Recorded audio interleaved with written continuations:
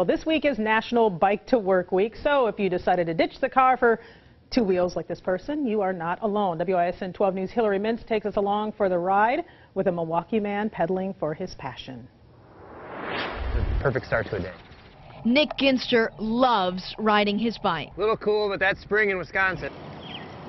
Enjoying the scenery. The things you see on a bike and hear and smell, I mean, you just you don't you don't get it in a car.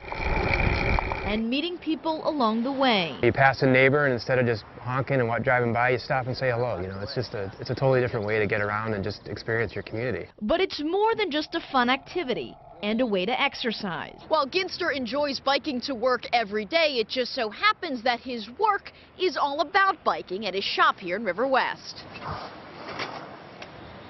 His shop, Fyxation, named fittingly for his fixation with bikes. I've ridden bikes since I was a kid. I never really stopped. So several years ago, he and his brother created their own brand and business of fixed gear single speed bikes. Many, many people will remember this type of bicycle from when they were a kid. There's just one gear, uh, a very simple system. You pedal, the bike goes. Their bikes are sold in every state across the nation and overseas. This is the Fyxation Quiver right here.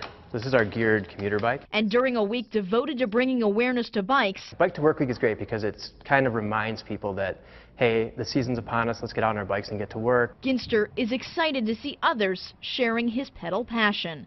In Milwaukee, Hillary Mintz, WISN 12 News. According to the League of American Bicyclists, over the past decade, the number of bicycle commuters grew by more than 60%. Milwaukee's official Bike to Work Week is June 8th to the 12th.